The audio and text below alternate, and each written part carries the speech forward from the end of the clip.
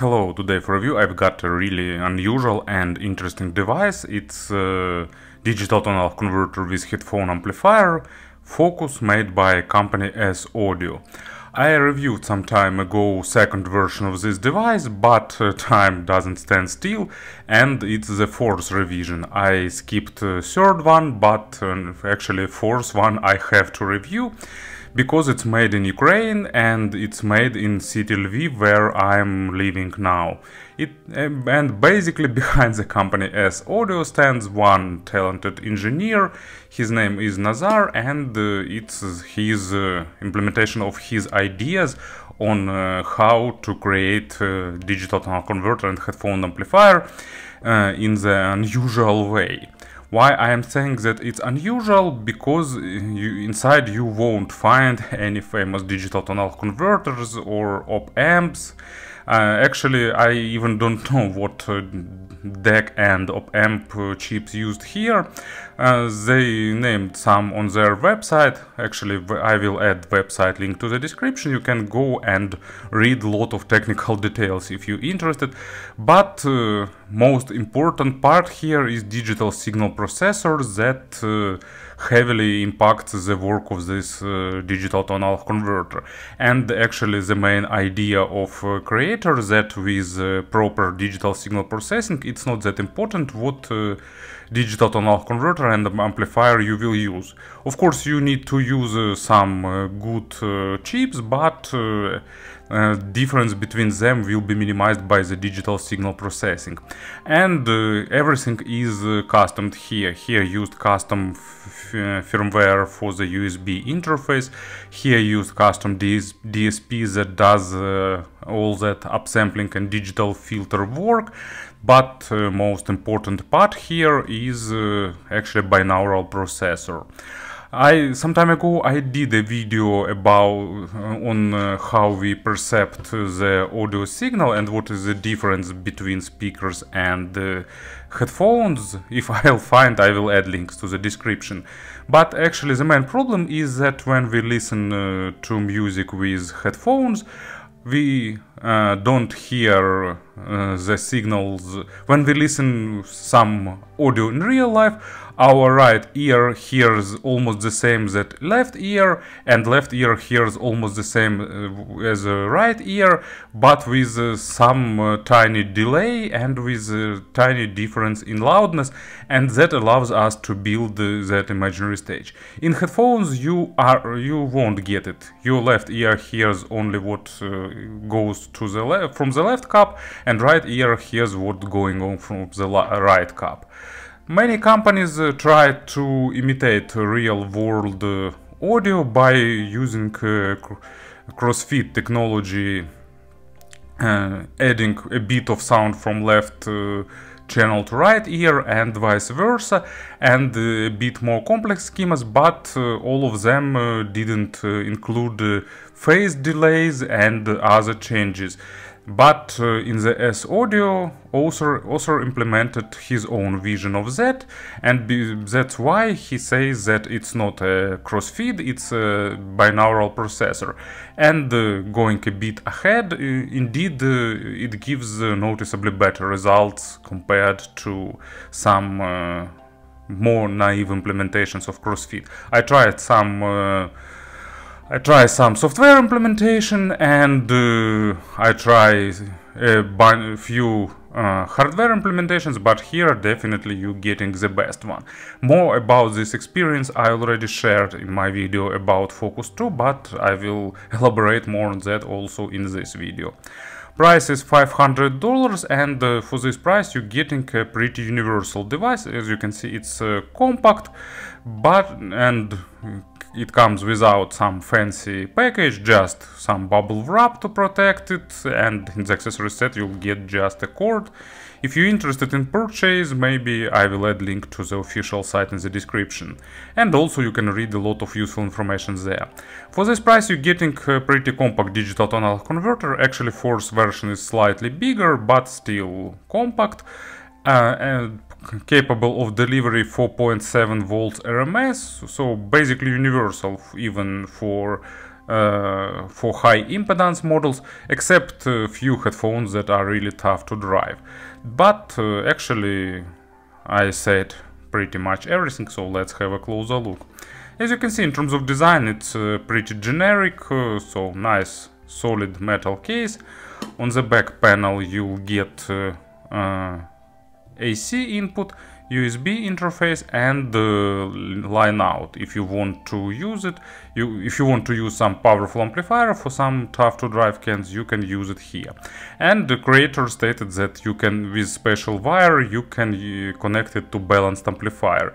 They have a schema for, for this connection on their website. It's not balanced output it's just uh, possibility to connect balanced amplifiers here. Didn't try that actually.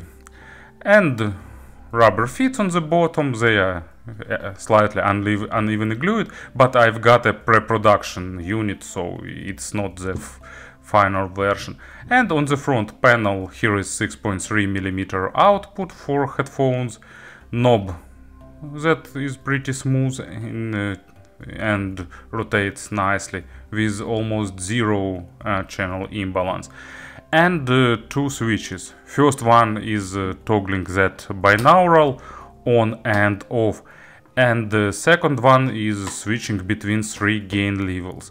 Middle and high gain are suited for the full-size headphones and output impedance with them in these modes are close to zero. They are not zero because of impedance of the mute relay and uh, and the socket itself, but they are as close to zero as possible. And in the low gain uh, impedance is 2.2 ohms to accommodate better sensitive in-ear monitors. And uh, inside implemented a lot of uh, protection circuits and other stuff, so you can be sure in this construction it won't uh, do accident pops or something like that in, and uh, it connects automatically to Linux, to Mac OS, Android devices, but uh, for Windows you can use uh, drivers. And in general, in terms of design, I can't say that it's kind of super fancy, but it's like neat and uh, well done, uh, solid looking uh, device. And of course about the sound, I will do it in a bit uh, non-traditional way because I want to make this review more focused. You understand the pun intended here. I won't build like a common setup, I do to show that it's kind of working. Believe me, it's working, I spent uh, two weeks with it. But uh, to make everything look fancier, I will put Meze Liric on the table and actually it works uh, pretty fun. So let's uh, first of all talk about the standard mode ST uh, without uh, this binaural mode activated. And in general, you know, it's absolutely good, transparent digital tonal converter with uh, proper weight distribution, good control all over all frequencies, really universal and actually punching above this price tier. And when I was reviewing uh, second version of uh, Focus, I said that it's making a slight uh, accent on the micro contrast. Uh, with uh, fourth version, it's gone. It, it, it just has uh, good resolution without over accenting micro nuances and details, without being too clinical or analytical. And that means that you're getting better weight distribution and you're getting more natural sound. So let's do it really quick. Bass uh, goes to maximum depth, it's controlled well, taking it uh, some sensitive in-ear monitors or some high impedance full-size headphones. Uh, bass is absolutely good, uh, fast, with nice rumble, with uh, perfect uh, punch and kick, without any attempts to color anything. So keep in mind this device doesn't try to add any coloration, so if you use to some additional weight on the low frequencies or some uh, spiciness uh, by highlighting some micro nuances and overtones, you won't get that. So basically what is recorded it will play. But at the same time it won't uh, sound too analytical analytical like some devices that is focused on the micro contrast does.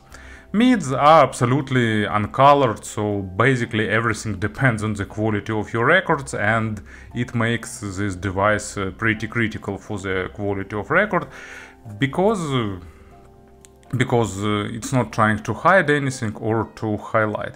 Instead, you're getting a pretty good imaginary stage, above average in width and in depth, not huge, but uh, pretty well built with proper layering and uh, with uh, good separation. And uh, nice weight distribution, no, no focus on some aspects like uh, um, dynamics or emotions, but if they are present in records, you'll get the full amount of them and the treble. Well controlled, good extended, not softened, not uh, spiced, not uh, piercing, not not highlight, so not uh, colored in any way. If I'd like to go slightly nitpicking, I'd uh, say that I'd like to see slightly better layering in the treble area, but uh, for this price it's still okay, it's slightly above basic, and it sounds airy without any attempts to uh, to hide something or to emphasize. So basically in standard mode it's just a clean, detailed, technical uh, digital tonal converter with uh, good amplification that gives a nice control. But uh, when you flick this switch, everything changes in a pretty fun way. So stage became uh, more three-dimensional and uh, you're getting uh, more uh, confidence in things that goes not only to left and right but also forward and backward. Actually width became slightly less uh, but depth became more accented and you can definitely position the sources not only left right but also forward and backward. But of course it works not for every single record, you'll need a properly recorded uh, uh, tracks and uh, preferably they should be live because uh, for the studio records often during the mastering and mixing uh, uh, sound engineers changing positioning of instruments uh, changing the sound. So in these cases of course effect can be different. And what else you need to notice you need some usage to this uh, binaural processor because in real life of course sound doesn't behave the way it does with this binaural processor. But of course it's not the fault of the device. So in real life when you turn in your head to left or to right of course uh, uh, sound source stay on its place. And if you turn head right uh, your left ear will uh, will hear the sound source better and vice versa.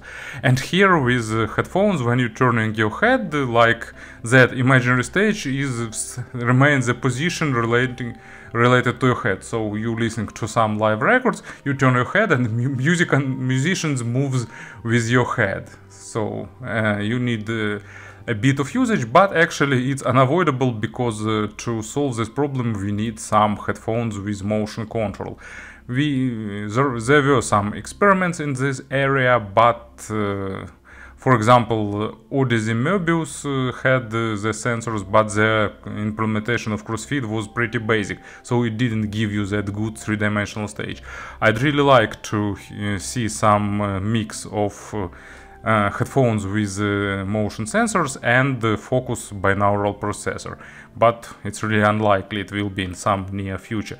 But in general this uh, binaural processor is a really interesting thing to play with because it gives you new layer of music especially if you have a lot of uh, well recorded and uh, uh, nice live tracks I don't know, James Brown live at the Apollo, my favorite uh, Jazz at the Pawn Shop by Arne Domnerus and other guys and so on. And uh, in terms of uh, powering, in terms of uh, compatibility, I already said that it's good with sensitive in-ear monitors and with full-size cans except of some really uh, really power-hungry models. In terms of compressions, it's a noticeable step above uh, above uh, the Focus 2 because here you uh, that binaural processor changes the frequency response in a less noticeable way. It's uh, basically close to being uh, transparent in this aspect and in terms of overall sound it's also a bit more mature with less focus on the micro contrast and better weight distribution.